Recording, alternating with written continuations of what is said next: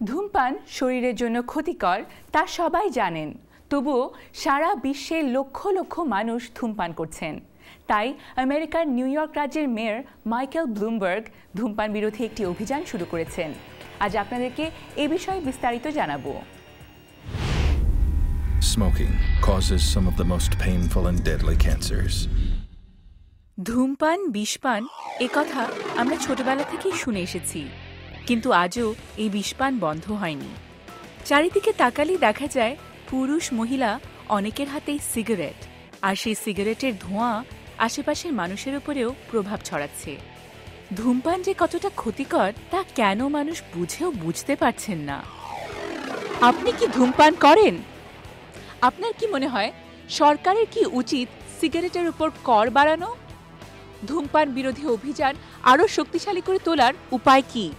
এখানকার মানুষকে জিজ্ঞেস করি I have smoked before, but I'm I, I no longer smoke. Well, I used to be a smoker. I'm glad I'm not anymore. It's been years. যারা ধূমপান ছেড়ে দিয়েছেন তাদের মধ্যে অনেকেই বললেন কর বাড়ানো উচিত cigarettes. I think it's a good start.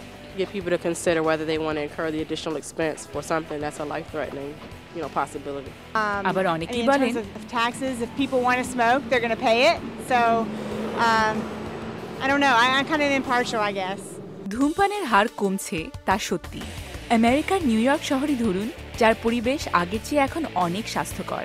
Restaurant, park, কোথাও ধূমপান করতে দেয়া হয় না। তার একটা মূল কারণ মেয়র মাইকেল ব্লুমবার্গের ধূমপান বিরোধী অভিযান। Only 7% of our kids report they smoke, and only 14% of adults. It's amazing. Mayor. Bloomberg বলেন পৃথিবীতে যত মানুষ ধূমপান 10 করেন. তাদের অর্ধেকই মাত্র পাঁচটি দেশের নাগরিক চীন ভারত ইন্দোনেশিয়া. রাশিয়া এবং বাংলাদেশ এসব দেশে সিগারেটের উপর কর বাড়ানো উচিত বলে তিনি মনে করেন বিজ্ঞাপনের মাধ্যমেও এই কাজটি করা যায় তার জন্য তিনি ২২ কোটি ডলারও বরাদ্দ করেছেন।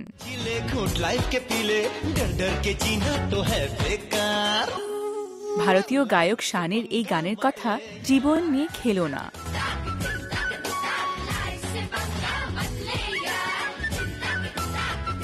देखिए ये सारी जो चीजें हैं ये जो रूल्स हैं जिन्हें अमल करना है তিনি ये सारी বলেন चीजें पर অল্প हम বয়সীরা जरूर, যদি ধূমপান করতে চায় তাহলে তারা সরকারের নিয়ম ভেঙেই তা করবে তাই এসব বিজ্ঞাপনের প্রয়োজন আছে আমেরিকার মানুষও তার সঙ্গে একমত Yes, especially for the younger ones. I don't think they understand from the beginning the of harmful effects that come later on down the road. It kind of has a glamorous effect to them. আমেরিকায় আরও বিজ্ঞাপনের দরকার নয় কি Absolutely. I've seen in other countries where they, they make it very blatantly obvious about the hazards of smoking. when the smoking uh, has decreased in young people, I, I think you're right. We probably dropped the ball, and those things haven't uh, been focused on. এদেশে অল্প বয়স্করা cigarette কম খাচ্ছে তা ঠিক কিন্তু এটাও ঠিক যে অনেকেই ধূমপান করছে তাই অনেকেই বলছেন যেভাবেই হোক ধূমপান বন্ধ করতেই হবে এই বিষপান আর কতদিন?